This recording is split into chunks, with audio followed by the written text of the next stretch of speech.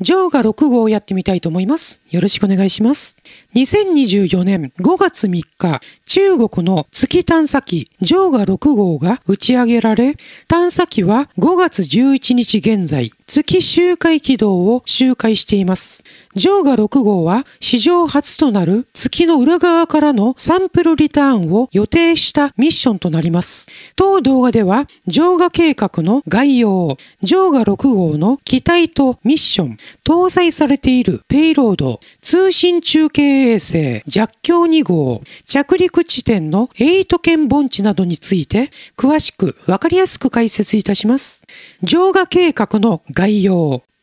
ジョーガ計画の名前は中国神話に登場する月の女神ジョーガから取られました。計画は2003年3月1日に正式に開始され、大きく探査計画、有人着陸計画、滞在計画に分かれており、将来的には有人による月面長期滞在を目指しています。最初の探査計画は軌道周回、着陸、サンプルリターンの3段階、フェーズで構成されていましたが、ジョーガ5号が北京時間の2020年12月17日午前1時59分に月の裏側からのサンプルリターンを達成したことにより、フェーズ4である探査プロジェクトが追加されました。フェーズ4探査プロジェクトの目的は月の南極の地形、物質組成、宇宙環境などの総合的な探査です。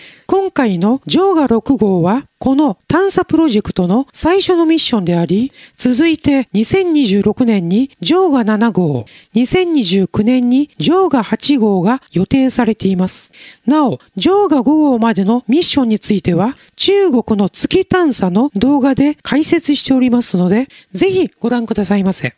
弱強2号、ジョーガ6号の打ち上げに先駆けて、2024年3月20日、通信中継衛星弱強2号が調整8号ロケットによって打ち上げられ、3月25日に月周回軌道に投入されました。月は自転周期と地球に対する公転周期が同じつまり、潮汐固定されていることから、月の裏側は常に地球の向こう側にあり、月の裏側の月面を探査するジョーガ6号との通信は月自体によって妨げられることになります。そこで弱強2号が地球とジョーガ6号との通信を中継する任務を負うのです。月の裏側の月面を探査するジョーガ4号と玉と2号との通信を中継するために、すでに中継通信衛星弱強1号が投入され、現在も稼働していますが、将来のミッションでは最大10台の探査機が活動するなど、より多くの作業負荷が含まれる予定であることから、大型の弱強2号が投入されることになりました。また、鵲橋1号は月から6万 5000km 離れた地球月系の L2 ラグランジュ点を周回するハロー軌道に投入されましたが、この軌道は本質的に不安定であり、約9日ごとに小規模な軌道修正操作を行うため、都度 80g の燃料を消費する必要があります。したがって弱強2号はより安定した性質を持つ近月天候高度 200km、円月天高度 16,000km、軌道傾斜角62.4度、24時間周期の凍結楕円軌道が選択されました。弱強2号の耐用年数は約8年とされており、弱強1号の運用終了後は、上下4号と玉と2号との通信も引き継ぎます。また、上下6号のミッションが完了した後は、上下7号、上下8号に通信サービスを提供するために軌道を調整します。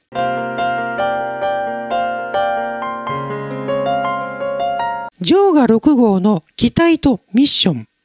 ジョーガ6号は北京時間の2024年5月3日17時27分、中国南部の文章光天発射場から調整5号ロケットによって打ち上げられました。そして5月8日には月周回楕円軌道に投入されました。ジョーガ5号の時は月周回巡航軌道でしたが、今回は逆行軌道を周回します。ジョーガ6号はジョーガ5号のバックアップとして製造されましたが、ジョーガ5号が目的である月の表側からのサンプルリターンを達成したため、月の裏側からのサンプルリターンミッションとして振り替えられました。機体全体の構造は上下5号と同様になりますが、国際パートナーの化学ペイロードなどを搭載するため、打ち上げ総質量は 8350kg と、上下5号と比べて 150kg 増えています。ジョーガ6号の機体は4つのモジュールで構成されています。ランダー着陸機はオービター周回機から分離して月面に着陸します。ロボットアーム、スコップとドリルが装備されており、ロボットアームは月面の砂、レゴリスや岩石をかき集めて収集します。ドリルは地表から2メートルの深さの地下サンプルを収集します。合わせて最大 2kg のサンプルを収集する計画です。アセンダー上昇期はランダー着陸機の機体上面に設置されています。収集されたサンプルはアセンダーに積み込まれ、月周回軌道に打ち上げられます。そしてアセンダーはオービター周回機とドッキングし、サンプルはオービターに搭載されたリターナー機関機に移されます。その後、アセンダーはオービターから分離し、スペースデブリになるのを避けるために月面に制御落下させられます。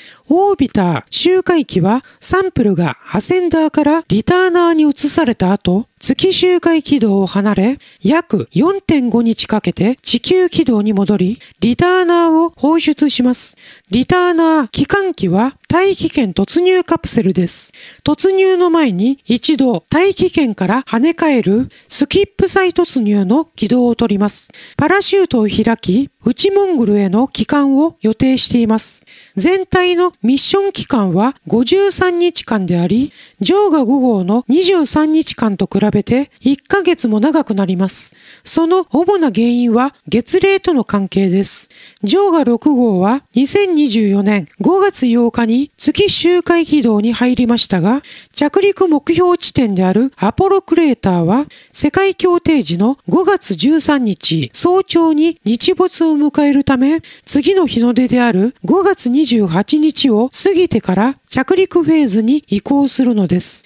計画では、ランダー着陸機の月面着陸は6月2日、サンプリング作業を経て、アセンダー上昇機の離陸は6月4日、その約2日後に、アセンダーとオービター周回機がドッキング。6月20日にオービターとリターナー機関機が月周回軌道を離脱して地球への遷移軌道に入り、6月25日にカプセルが地球に帰還する予定です。ここで喉を潤わさせていただきます。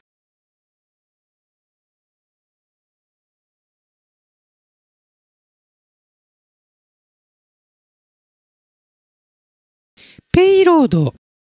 ジョーガ6号は国際パートナーから依頼された4つの化学ペイロードを搭載しています。オービター周回機にはパキスタンの月観測キューブサット i キューブ Q が搭載され、世界協定時の5月8日8時14分に月周回軌道に投入されました。これはパキスタン初の新宇宙ミッションであり、月面の詳細な画像の取得、月の磁場データの取得、通信技術の検証などが行われます。ランダー着陸機には次の3つのペイロードが搭載されています。フランスのラドン放出ガス検出機ドーンはアルファ分光分析法によって月の土壌から漏れ出るラドンの量を測定することにより月の水の循環の研究、月面と月の外気圏の間に存在する月の塵やその他の揮発性物質の移動状況を研究します。イタリアのインリーは着陸船から軌道までの距離を正確に測定する再帰反射器です。欧州宇宙機関 ESA、ロスコスモスの火星探査機スキャパレリや NASA の火星探査機インサイトに搭載されたものと同様です。欧州宇宙機関 ESA、スウェーデンの月面イオン検出機ニルスは月面で反射されたマイナスイオンを検出及び測定する装置です。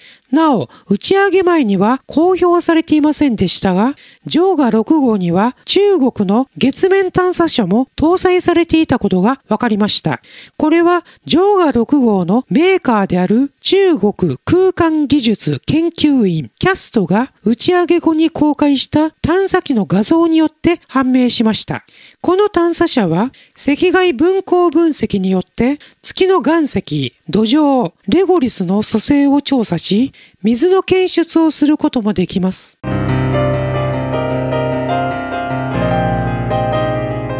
着陸地点のエイト県盆地、ジョーガ6号の着陸予定地は月の裏側南緯53度、西経169度に位置する南極エイト県盆地 SPA の内側にある南緯36.1度、西経151.8度に位置するアポロクレーター付近です。2023年7月に中国科学院国家天文台のチームがネイチャーアストロミー誌に発表した論文、アポロ盆地からのジョーガ6号。月裏側サンプルリターンミッションの着陸地帯によれば、ジョーガ6号ミッションの科学目的は、エイト県盆地からのサンプルを採取することで、太陽系初期の天体衝突死と月の地質学的進化についての新たな洞察を得ることとされています。エイト県盆地は月で最古の43億年前に形成されたクレーターであり、直径約 2400km、km 深さ約6.2から 8.2km で、月では最大、太陽系内でも最大級の大きさのクレーターです。エイト県盆地には社長石などで構成される月上部の地殻がほとんどなく、盆地内の大きなクレーター内は斜方奇跡で構成されています。これはエイト県盆地が直径 200km 以上の天体が衝突し、月上部の地殻が剥ぎ取られたことにより形成され、地殻下にあったマントルが溶け、直径 1000km 以上の溶岩の海が形成されたことを示していると考えられています。また、盆地の周辺にはマントル由来の観覧石が多い地域が発見されています。これは天体の衝突によって月の地下約 100km 付近にあったマントルの物質が掘り起こされ、堆積したことを示していると考えられています。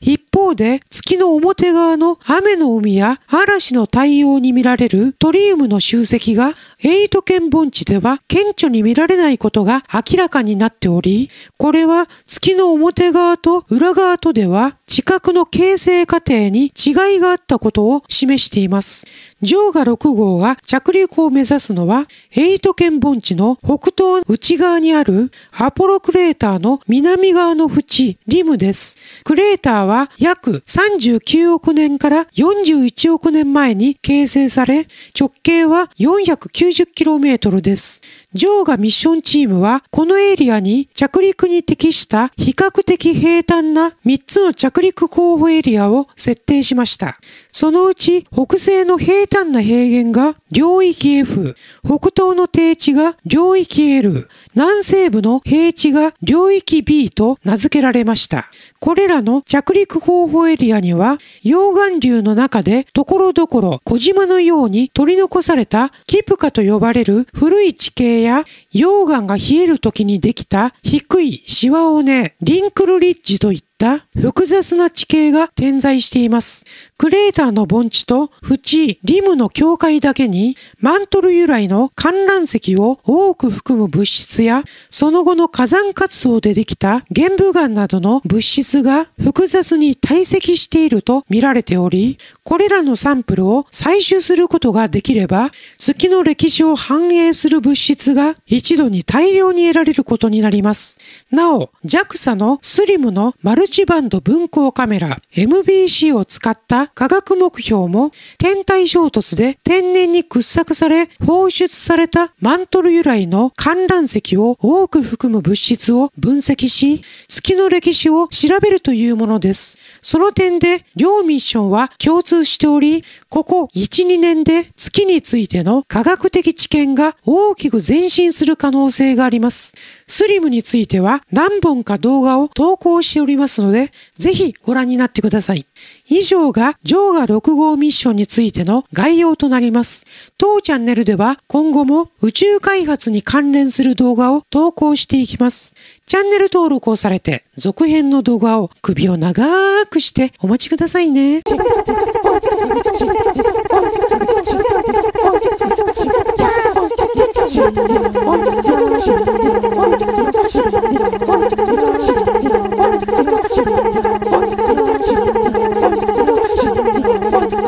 짱짱짱짱짱짱짱짱